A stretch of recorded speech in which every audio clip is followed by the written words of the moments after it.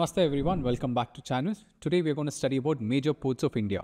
Ports are vital for India's international trade with over 90% of trade by volume and around 70% by value being carried through the maritime transport. India has a vast coastline of 7,500 kilometers with 13 major ports and over 200 minor ports. Classification of ports. It's divided into two parts. A. Based on administrative control. B. Based on nature of harbour.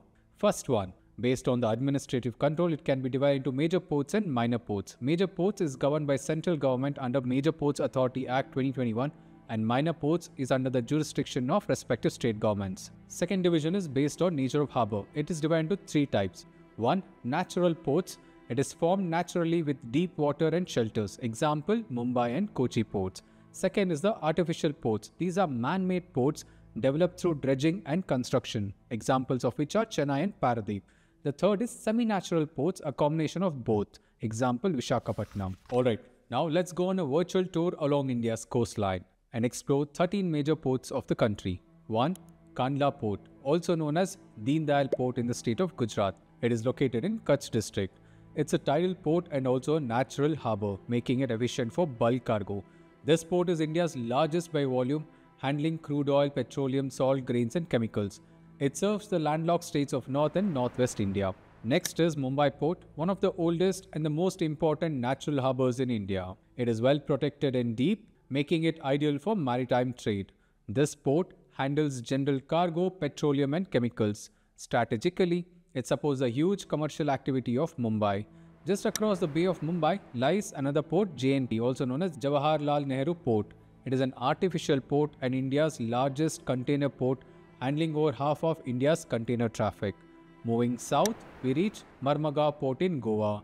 It's a natural harbour port and it's one of the leading ports for iron ore exports, especially to the country of Japan. Though its overall cargo has reduced in recent years, it remains crucial for mineral trade and tourism. Further down is New Mangalore Port in Karnataka. It's an artificial port, primarily handling crude oil, fertilizers, edible oil and coal. It serves the industrial and agricultural economy of Karnataka's hinterland. Next up is Kochi Port in Kerala, a natural port, located especially on Arabian Sea.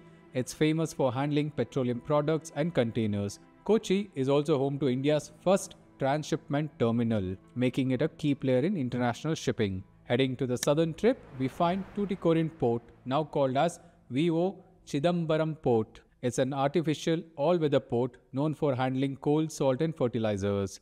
It's important for both industrial shipping and for nearby pearl fishing economy. Now, we move up the east coast to Chennai Port, one of the oldest artificial ports in India, operational since British era. It's a key hub for automobile exports, containers and general cargo.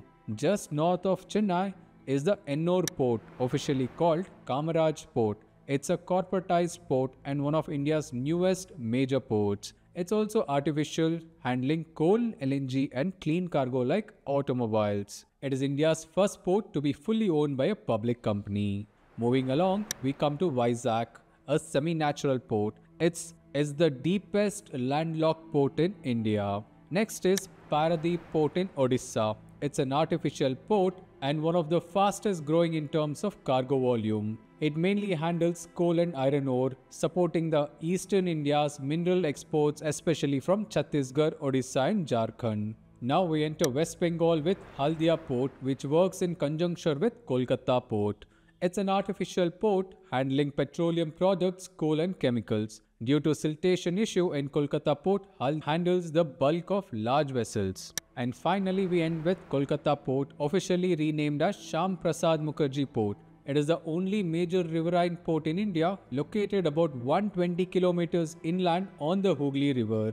Though it faces challenges like silting and shallow draft, it remains vital for trade with northeast India and neighboring countries like Bangladesh, Bhutan and Nepal. And thus the wrap up of our coastline journey through 13 major ports. Let's not forget, ports aren't just for trade. They are crucial for coastal security and defense, blue economy, regional development via Sagarmala project, employment generation, and boost to export-import sector. How to prepare for UPSC?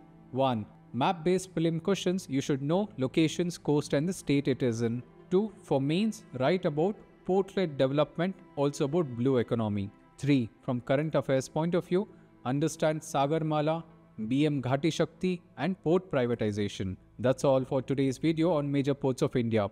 Thank you.